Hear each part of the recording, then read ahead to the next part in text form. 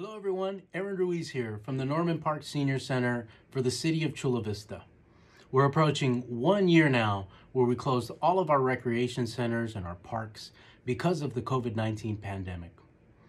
One of the first things we did as a nation was we asked our seniors to stay home as we saw how deadly this disease was for the entire senior population.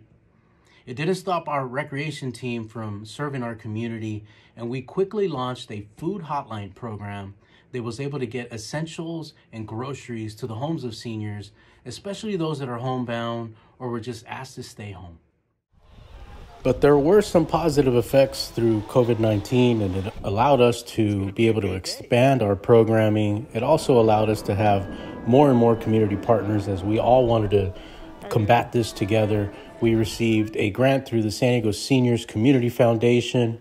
And with that grant, we were able to, at the Community Congregational Tower, who is our neighbor over at Norman Park Senior Center, is uh, to all the residents being able to give them a holiday care package that had ham, poinsettias, uh, some delicious desserts.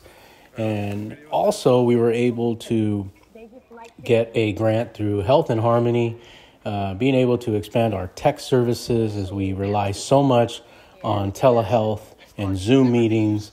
Uh, we've been fortunate enough to receive 12 iPads, and we're going to be able to go out in the community and teach our senior population how to log in, how to register, how to get a vaccine, uh, or simply talk to family and friends.